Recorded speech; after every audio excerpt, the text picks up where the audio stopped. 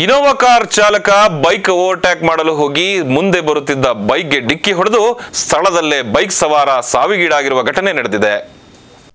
ಚಿಕ್ಕಬಳ್ಳಾಪುರ ಜಿಲ್ಲಾಡಳಿತ ಕೂಗಳತೆ ಅಂತರದ ಇಂಡಿಯನ್ ಪೆಟ್ರೋಲ್ ಬಂಕ್ ಮುಂದೆ ಬೈಕ್ ಮತ್ತು ಇನೋವಾ ಕಾರ್ಗೂ ಅಪಘಾತವಾಗಿ ಬೈಕ್ ಸವಾರ ಐವತ್ತಾರು ವರ್ಷದ ಸುರೇಶ್ ಸ್ಥಳದಲ್ಲೇ ಸಾವನ್ನಪ್ಪಿರುವ ಘಟನೆ ನಡೆದಿದೆ. ಚಿಂತಾಮಣಿ ತಾಲೂಕು ಸರ್ಕಾರಿ ನೌಕರರ ಸಂಘದ ಅಧ್ಯಕ್ಷ ಜನಾರ್ದನ್ ರೆಡ್ಡಿಯೊಂದಿಗೆ ಮೂವರು ಇನೋವಾ ಕಾರ್ನಲ್ಲಿ ಚಿಂತಾಮಣಿಯಿಂದ ಚಿಕ್ಕಬಳ್ಳಾಪುರ ನಗರಕ್ಕೆ ಹೋಗುವ ಮಾರ್ಗದಲ್ಲಿ ಚಿಂತಾಮಣಿ ಆಫೀಸ್ ಆದಮೇಲೆ ಬರ್ತಾ ಇದ್ರೆ. ಎಕ್ಸೆಲ್ ಗಾಡಿಯವರು ಓವರ್ಟೇಕ್ ಮಾಡ್ತಾರೆ ಎಕ್ಸೆಲ್ ಗಾಡಿಯವರು ಲೆಫ್ಟಿಂದ ರೈಟ್ ಮುಳುಗ್ಬಿಟ್ರು. ಇವರು ಡೈರೆಕ್ಟಾಗಿ ಬರ್ತಾಯಿದ್ರು ಆತನ ತಪ್ಸಕ್ಕೆ ಹೋಗಿ ಇವರು ಚಿಕ್ಕಬಳ್ಳಾಪುರದಿಂದ ಕಡೆಯವರು ಬರೋದು ಒಂದು ಡ್ಯಾಮೇಜ್ ಆಯಿತು.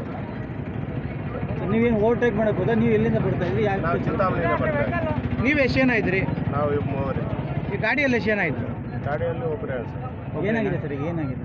ಅವ್ರಿಗೆ ಏನಾಗಿದೆ? ಅವ್ರಿಗೇನು ಇಲ್ಲ ಸರ್. ಪ್ರತಿ ಇದು ಏನು ಆಂಬುಲೆನ್ಸಲ್ಲಿ ಹಾಕೊಂಡು ಹೋಗಿದ್ದಾರೆ. ನಮಗೇನು ಗೊತ್ತಿಲ್ಲ. ಏನು ನಿಮ್ಮ ಹೆಸರು? ಜನಾರ್ದನ್ ರೆಡ್ಡಿ ಎಲ್ಲಿನವರು?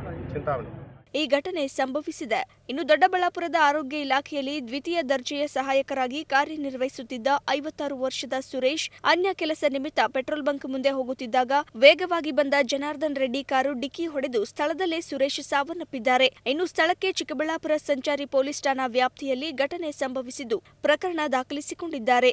ಎನ್ ಸತೀಶ್ ಅಮೋಕ್ ಟಿವಿ ಚಿಕ್ಕಬಳ್ಳಾಪುರ. ಕ್ಷಣ ಕ್ಷಣದ ಸುದ್ದಿಗಾಗಿ ಅಮೋಕ್ ಟಿವಿ ಯೂಟ್ಯೂಬ್ ಚಾನೆಲ್ಗೆ ಸಬ್ಸ್ಕ್ರೈಬ್ ಮಾಡಿ ಹಾಗೂ ಬೆಲ್ ಐಕಾನ್ ಮೇಲೆ ಕ್ಲಿಕ್ ಮಾಡಿ. ಅಮೋಕ್ ಟಿವಿ ಎಂದೆಂದಿಗೂ ನಿಮ್ಮೊಂದಿಗೆ.